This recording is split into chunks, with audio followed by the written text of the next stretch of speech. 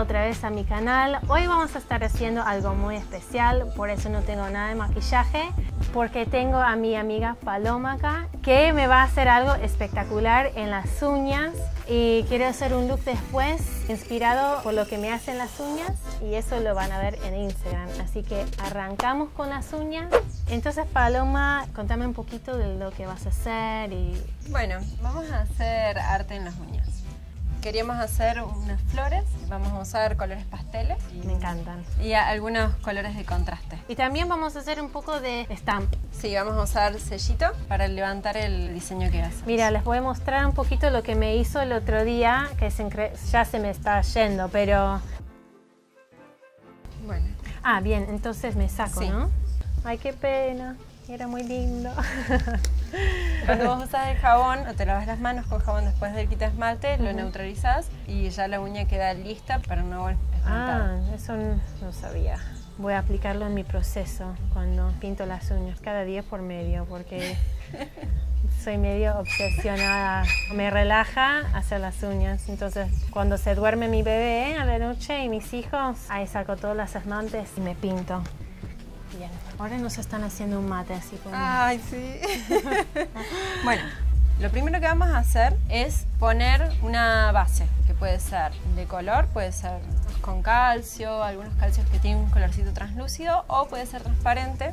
Esto nos va a servir para dos cosas. Uno es para que la uña no se tiña cuando le ponemos colores. Sí, como mis uñas que son amarillas. Y otra es que va a hacer que nos dure más el esmalte. ¿Hay una marca en particular que te gusta usar o no importa? No, yo, yo sé que hay marcas que son mejores que otras, pero en particular yo voy usando así, mezclando de lo que tengo a mano. Claro. Vamos a hacerlo así. Bueno, aprovecho a decir, no se olviden suscribir a mi canal, dame un like y un comentario. Ah, y me pueden seguir en Instagram también. ¿Ahora qué estás poniendo? Yo ahora estoy poniendo un esmalte para el crecimiento. Pero yo lo que voy a usar de acá, porque no lo puse sobre la uña directamente, ya puse la base, voy a usar el tono que tiene, porque es muy translúcido y al mismo tiempo tiene un blanquito que me va a resaltar la uña. Sí. Así que... Ahí viene el mate, voy. mate y viene corriendo. bueno, voy a hacer algunas manchitas para darle un fondo de color. No estoy haciendo ningún dibujito, son solamente manchitas. Y voy a usar para eso todos pasteles. Ahora voy a usar celitos que son bien finitos. ¿Y dónde los compraste? Yo los compro en, esas casas donde venden de todo, porque no son pinceles profesionales. Como trabajamos con esmaltes, todos los químicos que estamos usando se van comiendo los pinceles. Sí. Mate. Muchas gracias. Entonces, ¿qué vas haciendo como agregando?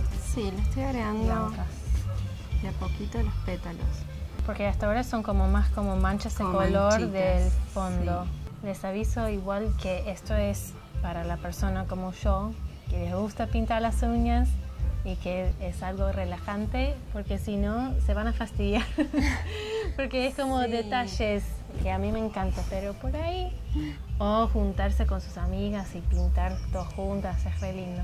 Mate medio mate. Tu mate señora. ¿cómo lo ves? me encanta. Me encanta porque es como un diseño en las uñas pero es como más sutil Re loco al agregar un poco de negro que se va de unas manchas a unas flores. Sí. Es como Bob Ross.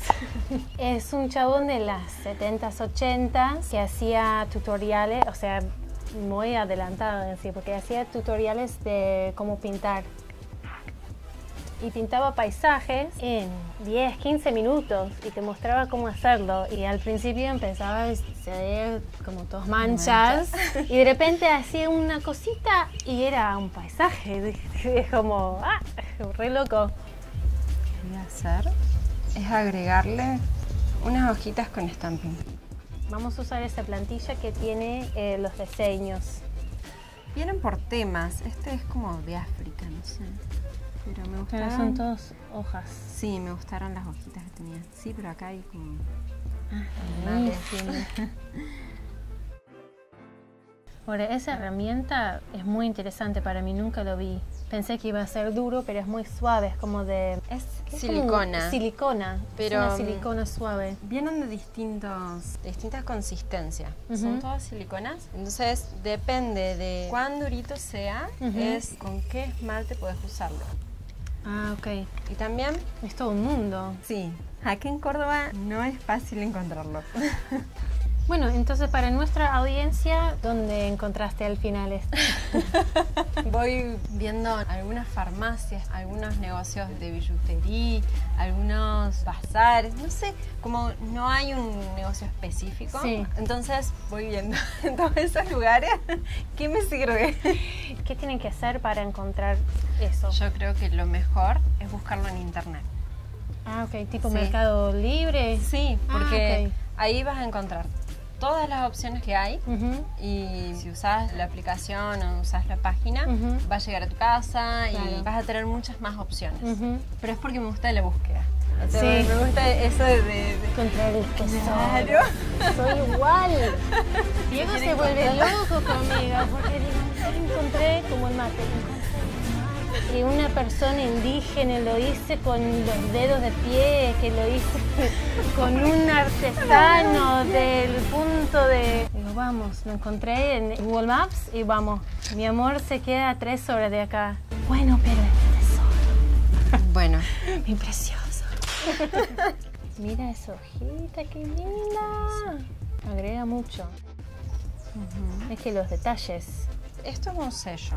Entonces, lo que nosotros estamos haciendo es sellar la uña. Un print o Ahora Tenés el print. stamp. Yo pongo el esmalte, retiro el exceso y con el sello lo levanto. Ok, ahí terminamos de crear el diseño. Buenísimo. Vamos a ponerle eh, una capa protectora de brillo. Quedó increíble. Era bastante, dentro de todo, fácil también. También depende del que, del que ponga abajo. Vienen los esmaltes que son específicos para stamping. ¿Y el stamping se puede hacer con esmaltes de gel, por ejemplo? Yo uso los tipos gel, que tienen como la misma consistencia que un Ujú. esmalte común, pero tiene más brillo y dura un poquito más. Voy a limpiar lo que quedó del costado, Ay, eso es genial. porque mm, no pusimos un protector en el dedo para que no se manche, que es la otra opción. Ahí tenemos un malo. Buenísimo. Bueno, vamos con la otra mano. Bueno, muchísimas gracias Paloma, No, fue un placer tenerte en el canal. Nunca tuve las manos tan lindas en mi vida, así que muchísimas gracias. Hasta la próxima. Chao. Chao. Tienes que mandarle beso. Chao. Tenemos hambre, vamos.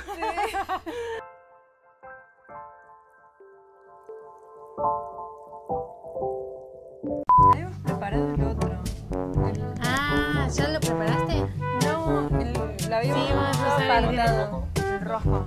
Estéticamente, perdón. Ni puede aguantar mirarlo. Porque ella de estética, es artista plástica, entonces. ¿Ese mate lo probás o su afecto? Lo apruebo. Los vecinos están compartiendo su música. Cuando empiezas a bailar, me asusto, me asusto. Pasaron del reggaetón al cumbia. Sí.